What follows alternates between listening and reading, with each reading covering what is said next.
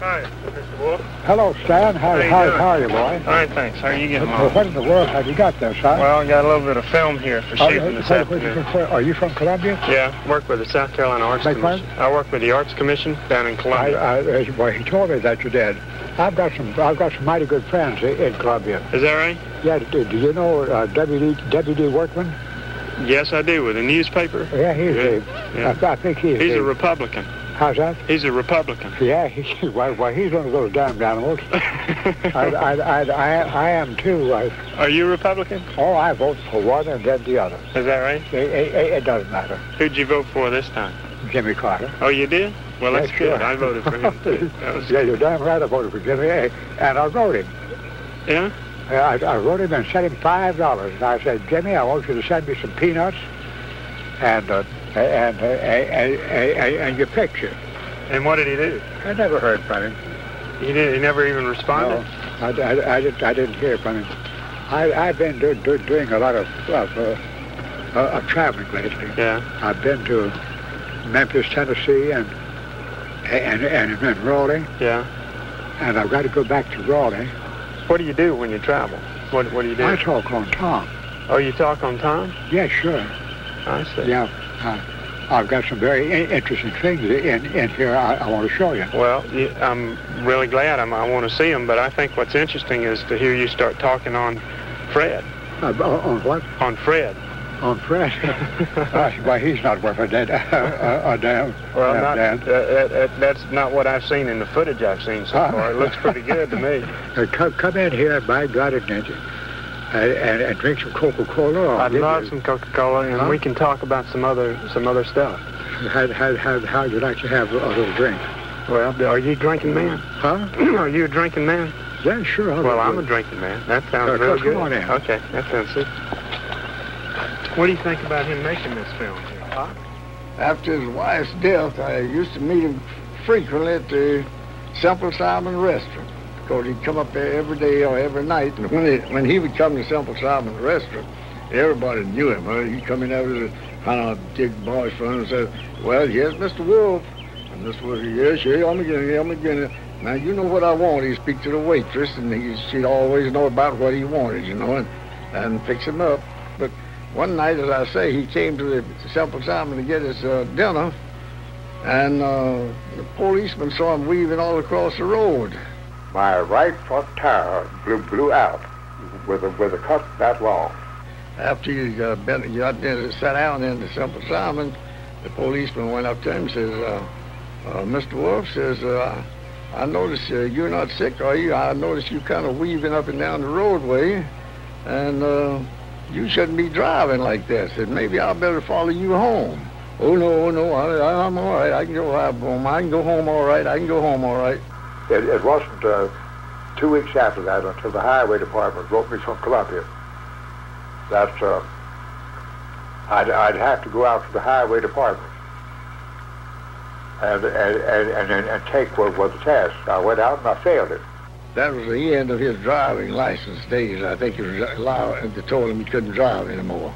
Frank might be able to say something about that. I don't know.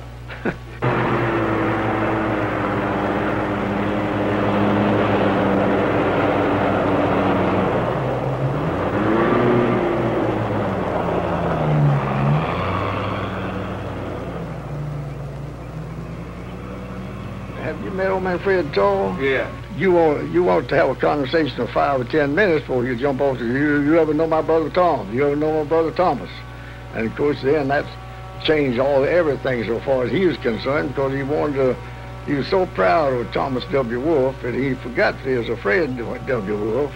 But he doesn't talk much about himself. Not we, too much of himself. we found it hard to get him to talk too much about himself. It, it is very hard. He won't do it unless. Well, if you just could get him still long enough and his uh, keep him down, you would get lots of information from him. But he's he's always up and going and says, "Well, I believe that's enough. I believe that's enough." Now you stop, so you might as well give up. When he says, "I believe that's enough," he's not going to talk to you anymore. kind of makes it hard to do a film about It him. does, yes, it does, sure does. What did you feel when you saw the first automobile?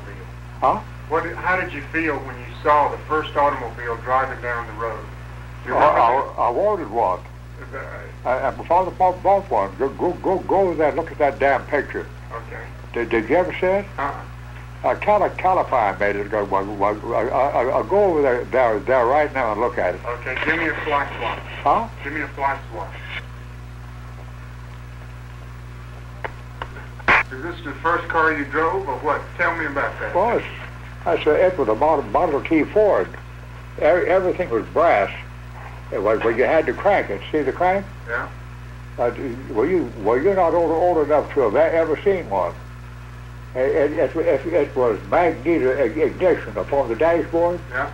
You, you see, well, well, you turn on the ignition, and, and then you crank, and if you put your finger upon that box, it, it would knock hell out of it. And uh, there was more more broken broken arms between 1905 and and, and, and, and 1915 in, in the United States. But but that was the Ford right there, and and, and this is Mama, this is Papa, and it, and after I went to Georgia Tech. Uh, my mother sold it to uh, oh some fellow out in West Asheville. She traded off to him well, for three lots, and she sold those lots well, for thousand dollars apiece. So she got back three thousand dollars against well for the fifteen hundred dollars that, that he paid for well, for the car. I guess you boys know that his mother ran a rooming and boarding house in the city of Asheville uh, for years and years to get those boys educated. And it's a shrine up there now. It's a lovely old home.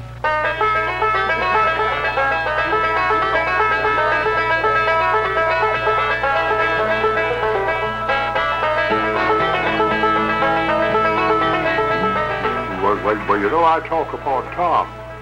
Well, well, they asked me, they said, Fred, well, you talked for an hour and 15 minutes and you fielded questions for 45. That's two hours. Well, I said, you can turn me on, but you can't, can't turn me off. I said, after, after all, I said, Tom, Tom Wolfe is a, a, a, a pretty big subject. And he is. Now, the one thing everybody likes to ask Fred Wolfe is, how do you think you came out in Look Homeward Angel as Luke Gant? And Fred, for many years, always used to say that, well, Well, I said, Tom said I, didn't have any sense, but I said, I think that he put me on the map well, when he wrote, wrote about me in Look Homeward Angel. I think Tom put me on the map all right. Nobody would ever have heard of me, but he, he pictured me as the village idiot, the clown, the fool. But I think he's finally learned that uh, uh, he wasn't pictured as the village idiot. I mean, if you've got a passage in the book that refers to Luke the unique, Luke the incomparable, uh, that's not making you the village idiot. But if you read carefully all the parts of Look Homeward Angel that deal just with Fred Wolfe, Luke Gant, you'll find, I think, that Tom really admired his brother for being the outgoing type and really liking everybody that Tom Wolfe was not and couldn't be. There's a great, a great deal of admiration comes through. Of course, Thomas Wolfe, being the famous novelist that he is, needs no uh, no special help. But Fred has certainly uh, been a great man for the cause because everybody likes him. He's very friendly, and I've seen him sit down and autograph and autograph and autograph when I know it was worn out. Now, uh, what is your name, Marty? Carrie. Who? Carrie. C-A-R-R-I-E. Terry or Terry? Carrie. C. T? Uh-huh. T or C? C, like cat. They asked me how it feels to be Tom's brother. I says I'm damn proud of it. I said I, I, uh, you wouldn't be asking me that question if Tom hadn't put me on the map. I said he did, and he did. Yes, a friend and I went by to see him one afternoon, thinking, you know, that he was lonely and would enjoy company because he does love people. And we found out that he just does his own thing while his company is there. Right in the middle of our visit, he mentioned something about a letter. And uh, he disappeared and didn't come back. So we started looking around and went in the kitchen, and there he sat at the kitchen table. The kitchen table was piled high with papers and all kind of things. uh, ashtray with cigarettes just all over the place, and he was writing a letter, completely unconcerned about the fact that he had company. Well, we got a kick out of that. Where Joe's over down there? I see here almost everybody's down on the field. And let's take a look at this again. This is, a, this is an excellent kick waiting there. Where is this stuff coming down here? An excellent catch by Jolly. And once again, they went to work on Mario Clark over here. Made some good reception. Did you get it? They changed his balance. Yeah, he got it. Buff- Buffalo and uh, who is it? Baltimore and are playing. I, I'm going to get that.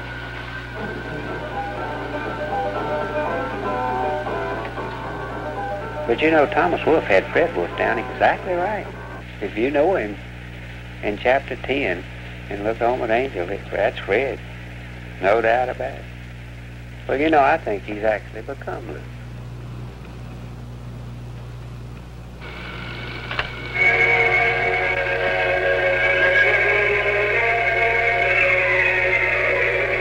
Tell all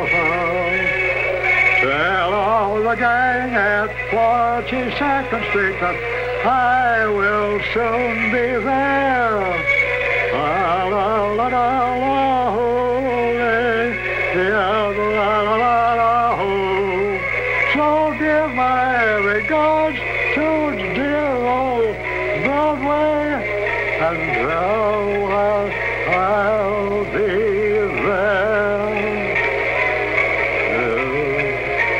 Of gas.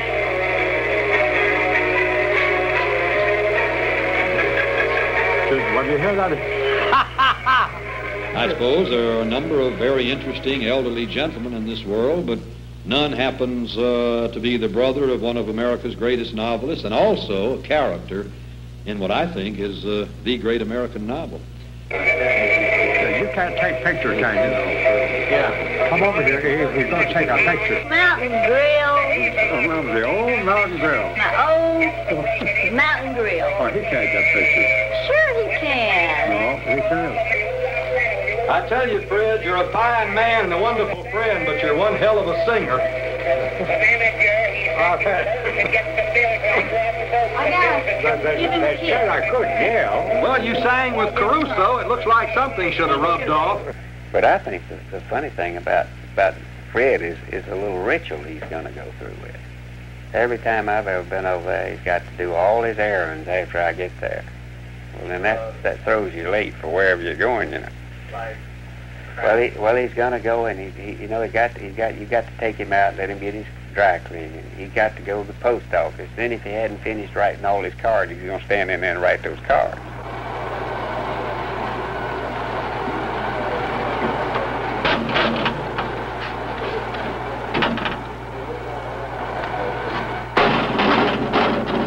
That's it. coming back, he's got to stop by that drugstore. And he's going to mess around and get a lot of cards and things like that, and he buys a terrific amount of candy.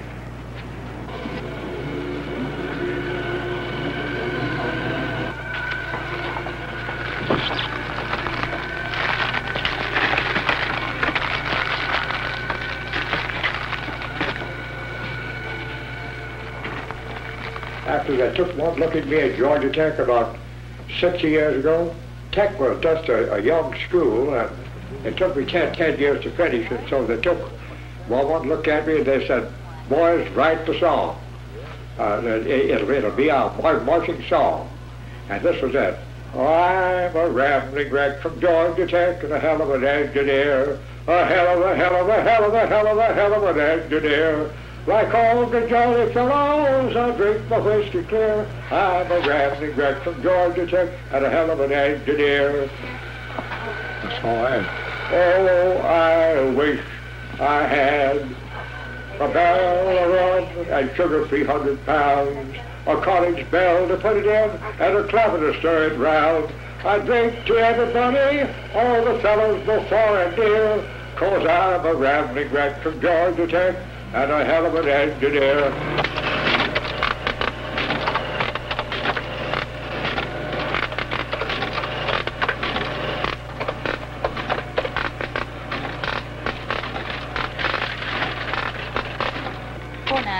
I'm a rambling wreck from Georgia Tech and a hell of an engineer. A hell of a hell of a hell of a hell of a hell of an engineer. Like all the jolly fellows, I drink my whiskey clear and I'm a rambling wreck from Georgia Tech and a hell of an engineer. well, that's it. It's seventy-five dollars for the suit. 75 for the suit. Yeah. That, that ain't bad. Would you like pants with pleats on them like this? You used to wear them like that. This Do, is do, do you happen to have a, one a little darker? I doubt to see for for the summertime it's all light now. We'll have fall ones in later. I, I want some summertime weight Well, this is it. Go go over and look in the glass.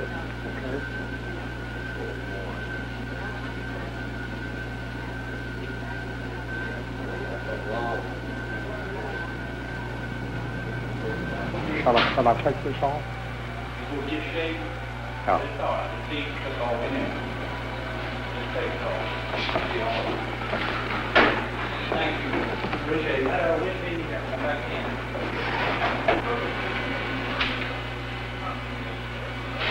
in. He's always uh, had a kind of a unruly head of hair, and uh, he likes the old style haircuts, clipped close around the bottom and leave the top kind of natural, you know, just like it long, let it kind of fall wherever it may. Oh, Yeah, Give him a little salute there, Miss Wolfe.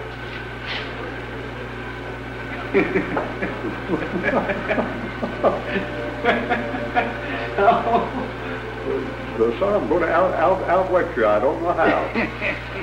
He's a sort of a humorous type individual anyway, any way you take him or if you talk with him. Uh, he's uh, got a lot of wit and he's a real kind-hearted old gentleman, even though you might not think he is to just to see him or hear him. But deep down, he's a real he's a real tender-hearted old gentleman. And I think a lot of him. It's like the old saying that uh, one never know how him look until him have him picture took. well, you're right.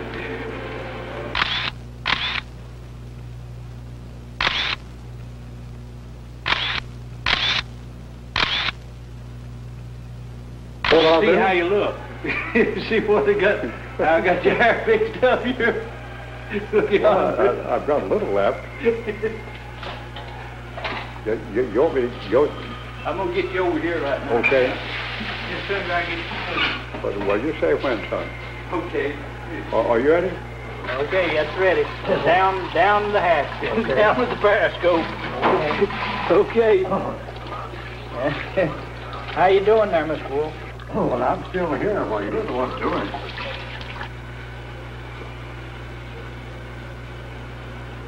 Okay, Mr. Wolfe. It sure stimulates you. Activities, don't it, Miss Wolfe? Don't this stimulate your activities a little? That's on this side here. You'll be all right. He likes to come to the barber shop, and he likes to spend a good bit of time at the barber shop, and uh, I, I think he really enjoys it. He's a real fine person, and he has a, a real knack for chatter, you know, and he likes to talk with people. He never never meets a stranger nowhere. And just anybody he sees is friend, and he can talk for an hour with anybody on anything just about that you want to talk with. But he does, uh, he does love to come to the barber shop. Get over and comb it out.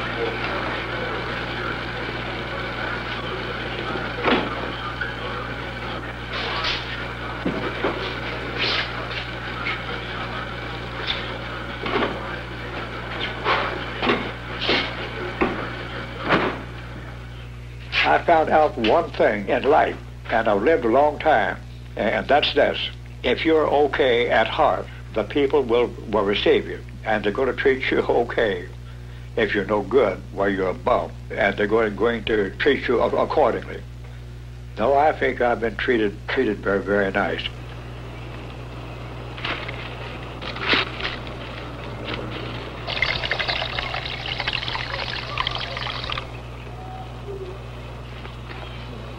I'm, on my, own grave now. Fred William Wolfe, July the 15th, 1894. Uh, some of the month and some of, some, some of the year, I don't know when. And that'll be at Luke of Look Over the Angel. Mary, Mary Burris Wolfe, born April the 15th, 1916, died June the 20th, 1974, in memory of my beloved wife, Mary. Right where she would be uh, 59 years old two weeks from today. Well, well, that would be it. Two weeks from today. Well, she died on the 20th of, of June, 1974. I carried her up to Asheville. We, we went to the mortuary. We'd already had a service here, and, and we had one at, at the Williams Funeral Home, and then we drove out to Riverside Cemetery, a, a beautiful spot, and we had another service there. And, and the pall pall bearers, when, when they carried Mary's casket up, up over the grave, and before I'd let them lower that casket into the ground, I said, take the top off that casket. I said, well, Fred, it's rather unusual, but if you want it done, we'll do it. I said, please take it off.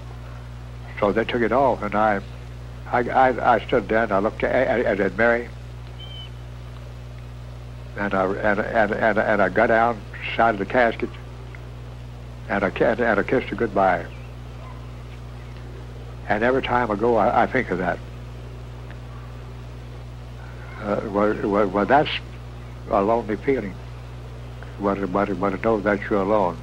Tom, Tom told, told me that his, his spirits would soar like a pendulum. That, that when it came over to the left, that, that, that, he would be up in ecstasy. When, when that pendulum swung back over, he was in the depths of, of despair.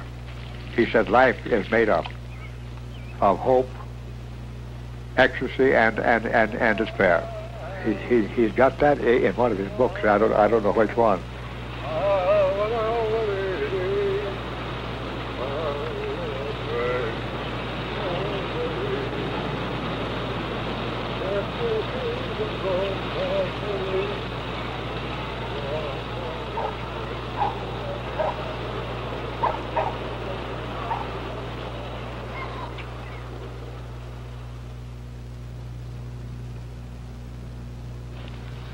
We're, we're kind of interested in finding a little bit more out about Fred Wolfe since uh, most people always come along and ask you questions they- about Tom Wolfe. Well, it won't take you long to find uh, find, find, find, find, find out, out, out about me. Um, if, uh, you, uh, well, you read uh, Look Home at Angel, haven't you? Yeah, I have. Well, I, I, I'm the only one left. Is that right? Yes, I'm, I'm, I'm, I'm, I'm, I'm, uh, I'm, I'm, I'm Luke. You're Luke? Oh, sure. That's great. Now, come in, boy.